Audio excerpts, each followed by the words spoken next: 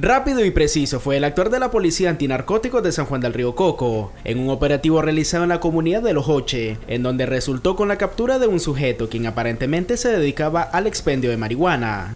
Eh, un expendio, ¿verdad?, de, drogas que se estaba generando en San José de Los Oche. Prácticamente este, le caímos y agarramos droga ahí, ¿verdad?, donde se encontró 152 gramos de, marihuana, la que, la que era distribuida a todos los jóvenes ahí. Y ya con esto ya el pueblo, la comunidad va a descansar.